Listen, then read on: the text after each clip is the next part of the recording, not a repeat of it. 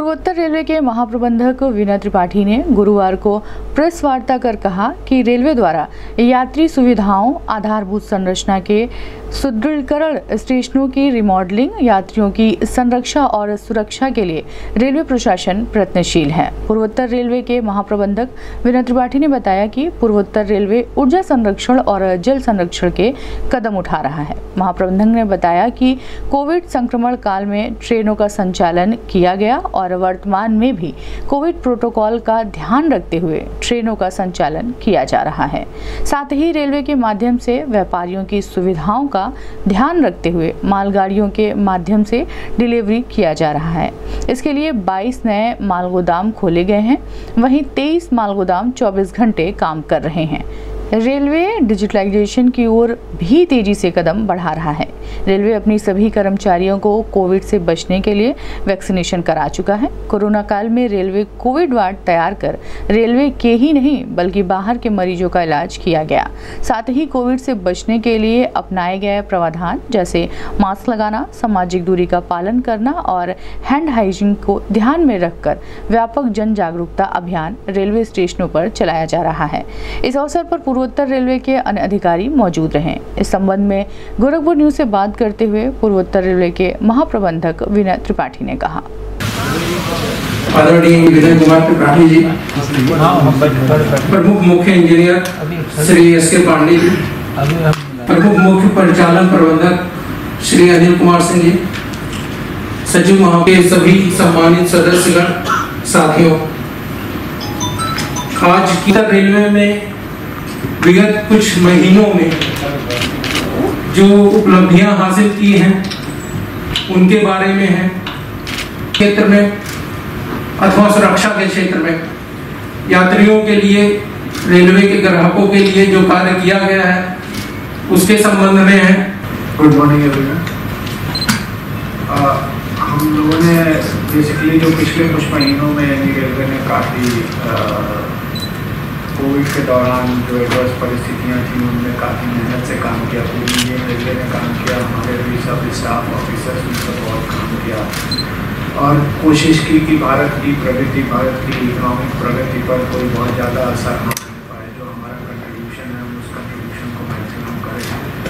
तो इसी सब चीज़ों को इकट्ठा करके, जैसा सी पी आर ओ साहब ने बताया कि हमने सोचा कि एक बार आप सब लोगों को फॉर्मली भी इंफॉर्मेशन दे दें बहुत सी इंफॉर्मेशन आपको day to day every day मिलती रहती है और उनको कंसोलिडेट करके एक तरह से आप सबको नॉलेज में ले आए हम लोगों का जो एफर्ट है, हमारे स्टाफ का ऑफिसर्स का, वो सब आप लोग अप्रिशिएट कर सकें। उसके लिए हमने इसको कराया और उसी के तहत सबसे पहला आइटम रेलवे का सबसे जो मोस्ट इंपॉर्टेंट आइटम होता है, वो सेफ्टी का इशू होता है। हमेशा मतलब हम लोग जब जब भी अपनी, कोई भी मीटिंग शुरू करते हैं, उसमें सेफ्टी फ़र्स्ट होती है और सेफ्टी लास्ट आइटम होती है।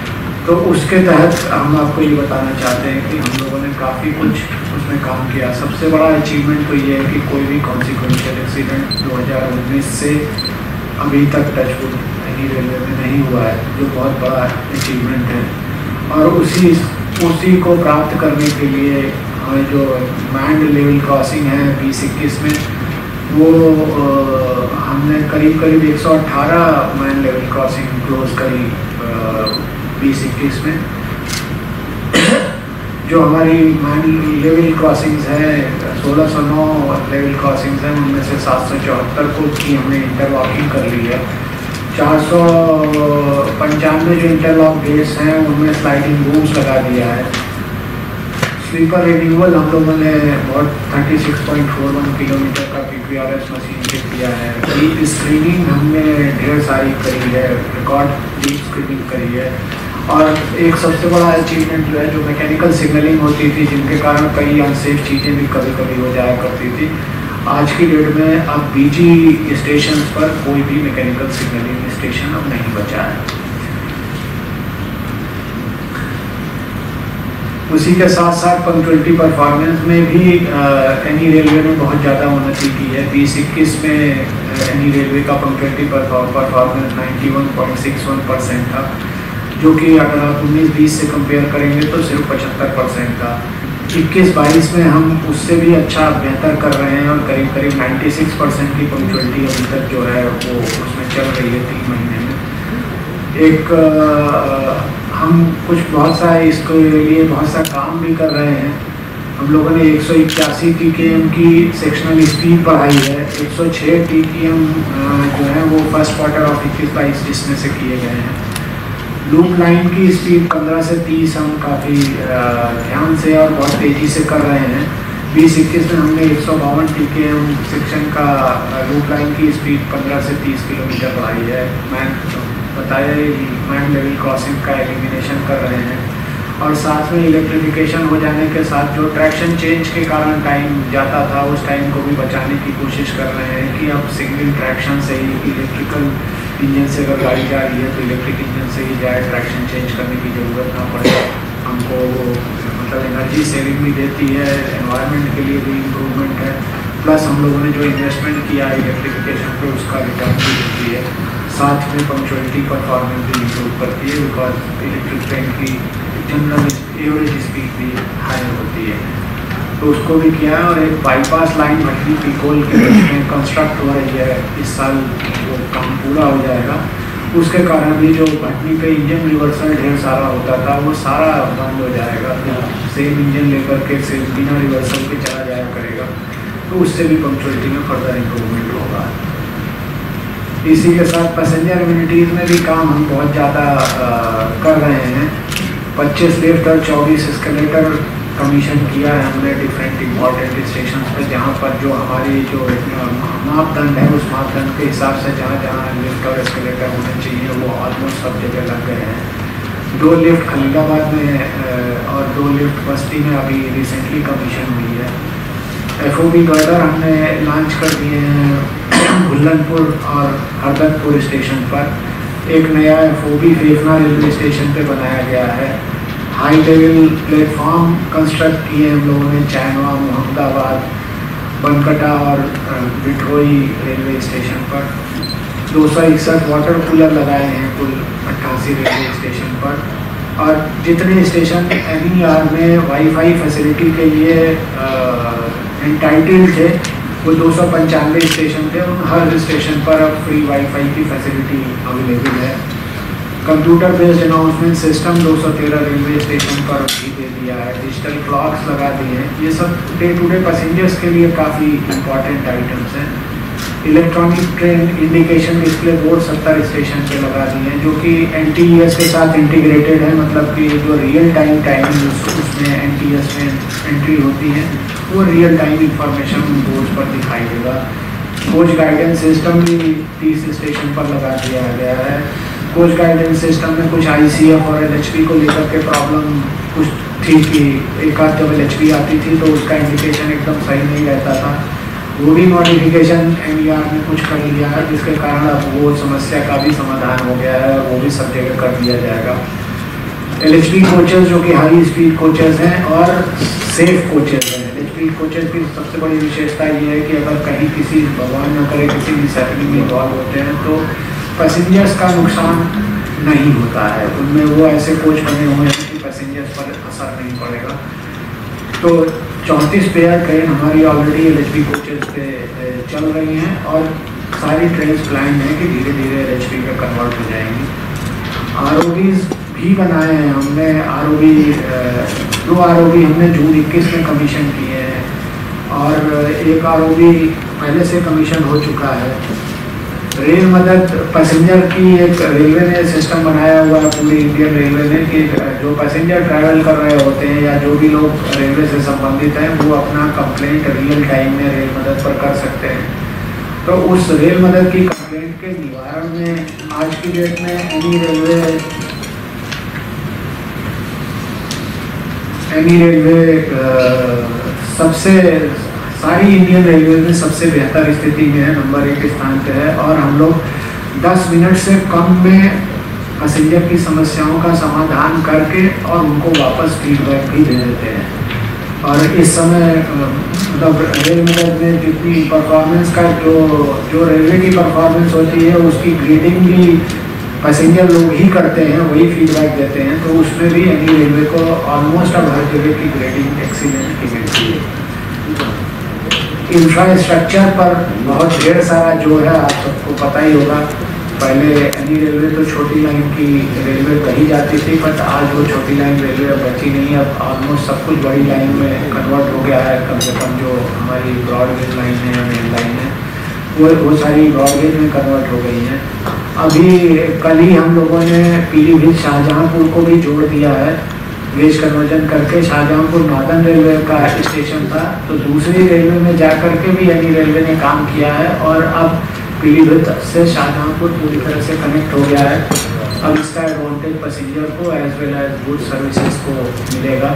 और सबसे बड़ी बात यह है कि दूसरी रेलवे में जा करके एनी रेलवे ने काम किया और इस चीज़ को संभव बनाया। ऐसे ही डबलिंग और यहाँ टू गाजीपुर बलिया टू फेफना और कछवा टू ज्ञानपुर की भी कमीशनिंग बीस इक्कीस में हुई है। डिफरेंट प्रोजेक्ट जो और चल रहे हैं और जो टारगेटेड हैं इक्कीस बाईस में, वो सीतापुर पर सेंडी की डबलिंग पार्ट है वो सीतापुर गुड़वल का, उसकी डबलिंग इस साल हम पूरी कर लेंगे। ऐसे ही पैंतीपुर और गुड़वल का डबलिंग कंप्लीट करेंगे। मल्हौर डालीगंज की डबलिंग कंप्लीट करेंगे।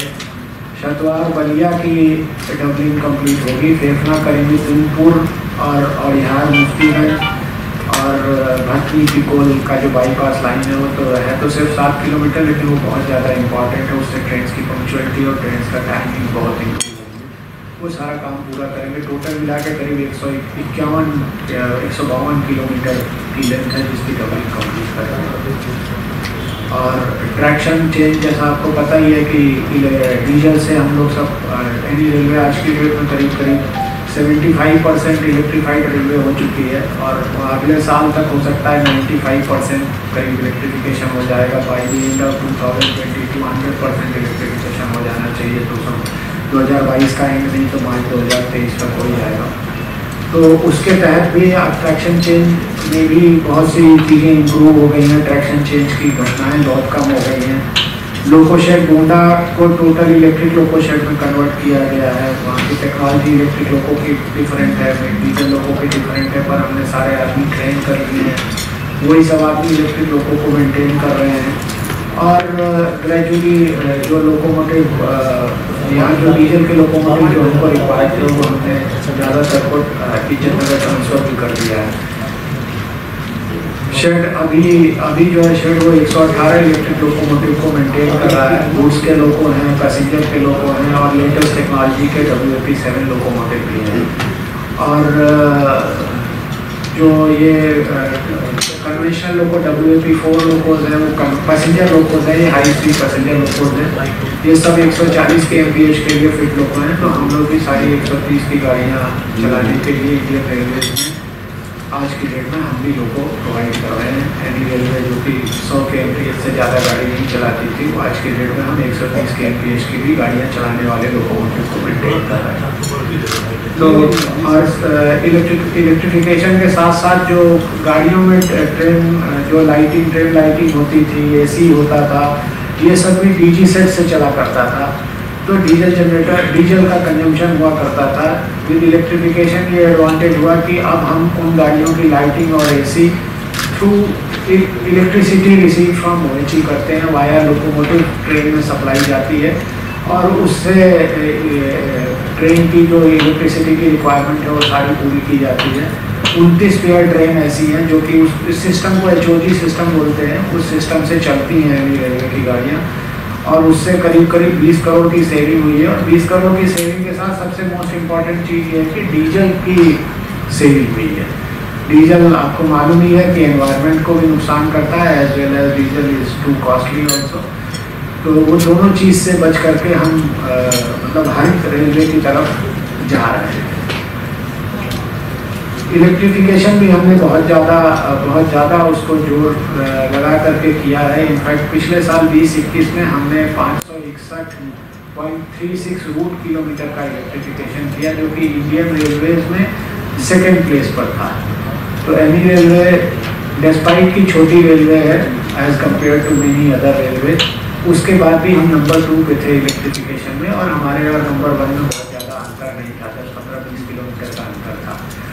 तो हम नंबर वन भी हो सकते थे तो इतना ज़्यादा उसमें काम किया और जो कि, जो ये पाँच सौ इकसठ रूट किलोमीटर हमने किया, वो टारगेट से करीब करीब पंद्रह परसेंट ज़्यादा था।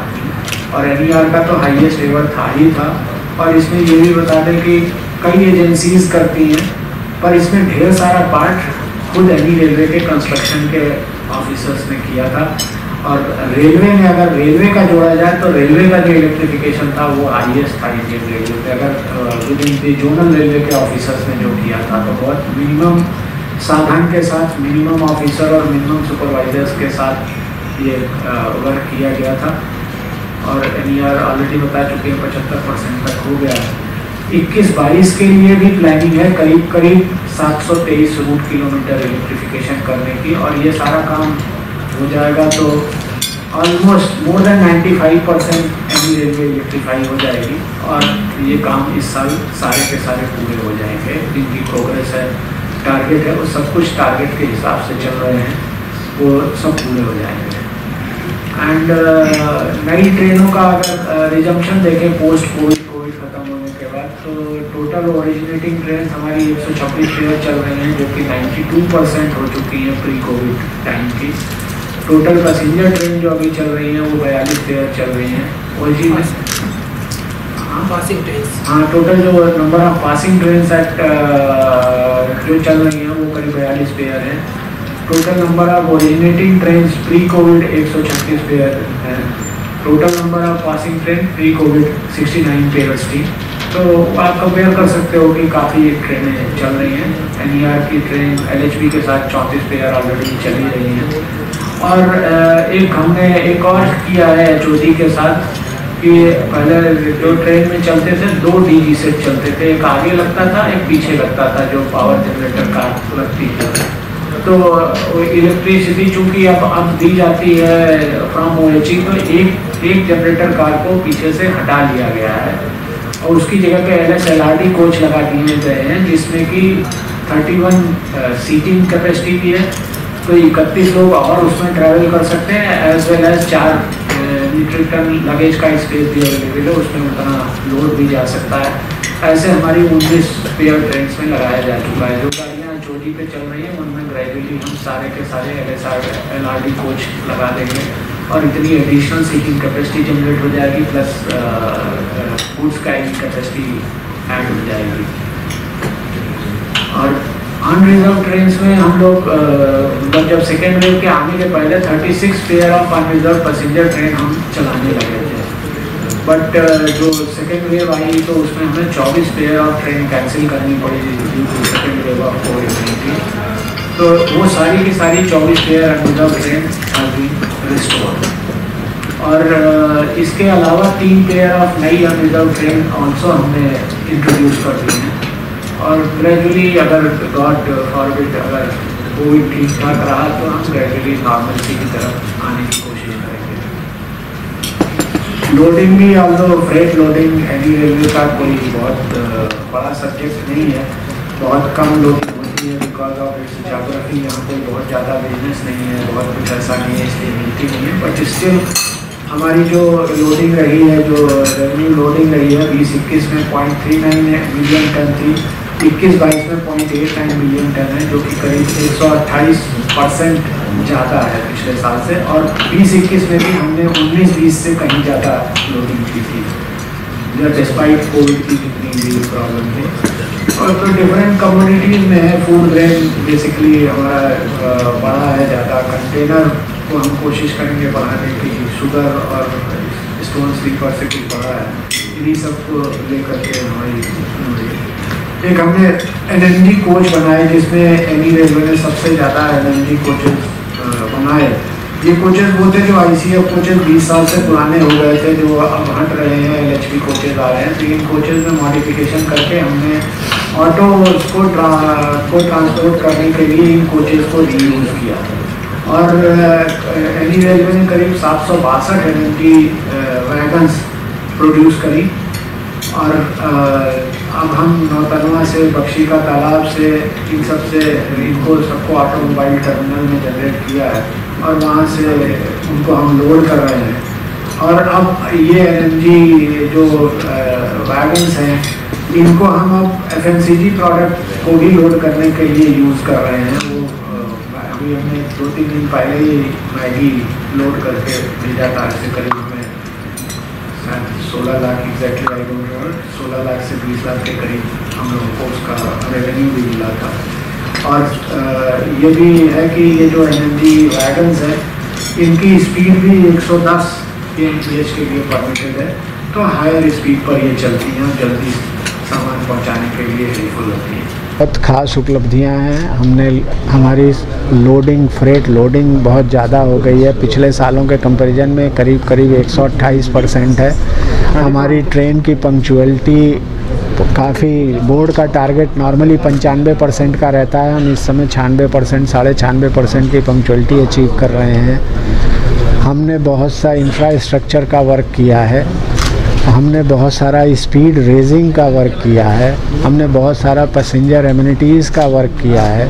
वो सारे काम पिछले एक सालों में बहुत ज़्यादा हमने किए और वो भी कोविड के दौरान किए। और उसमें भी आप लोगों को पता है, एक दो महीने हम बिल्कुल काम नहीं कर पाए।